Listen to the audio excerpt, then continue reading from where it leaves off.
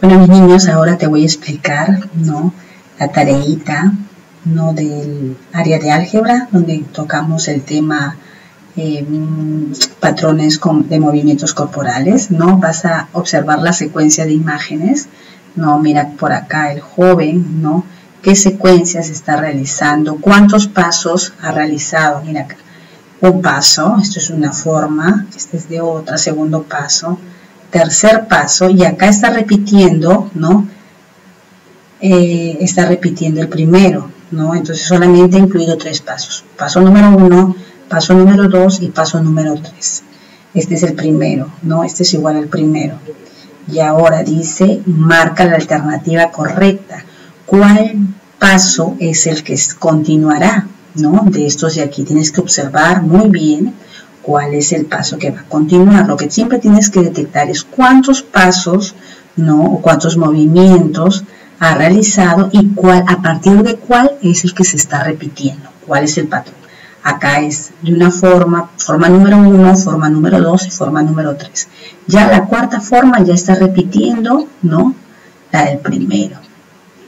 ¿No? Entonces ya tienes, tienes que observar, estar muy atento para poder resolver la tareita.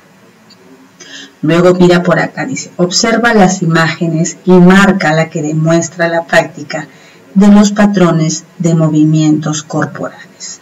Acá habrá alguna secuencia, algún patrón, ¿no? Acá habrá algún patrón o acá habrá algún patrón. Tienes que observar, ¿no? ¿Cuál de ellas, ¿no? ¿Cuál de las tres imágenes van a, estar observando un patrón, un patrón de, patrón eh, con movimientos corporales, ¿no? ¿Cuál de estas tres imágenes? Y vas a marcar con una X, ¿no? la que corresponde a patrón de movimiento corporal.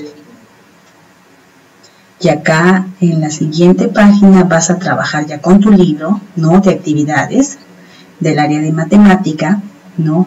Donde vas también vas, te están planteando en la letra A, ¿no? Una secuencia de pasos y cuál es la que continúa, ¿no?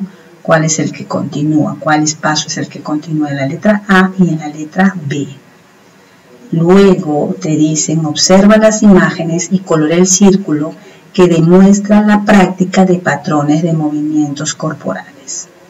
¿Cuál de estas, de estas imágenes no indicará la práctica de movimientos corporales? Y acá vas a asumir el reto. Utiliza los sonidos de una música de moda y crea una coreografía siguiendo los patrones de movimientos corporales. Acá de repente vas a hacer unos dibujitos, ¿no? De, un primer paso, un segundo paso, un tercer paso, y allí vuelves a repetir tu coreografía, ¿no? Lo que tienes que hacer es dibujar, ¿no? Vas a tener que dibujar, ¿no? Los pasitos que le has agregado o que has creado, ¿no? Tu coreografía de una música de moda. ¿Ok?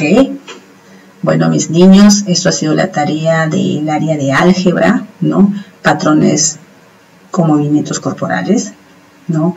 Del día jueves 22, 23, disculpa, de abril del 2020. ¿No? Bueno, mis niños, no te olvides, quédate en casa, lávate las manos por 20 segundos, ¿no?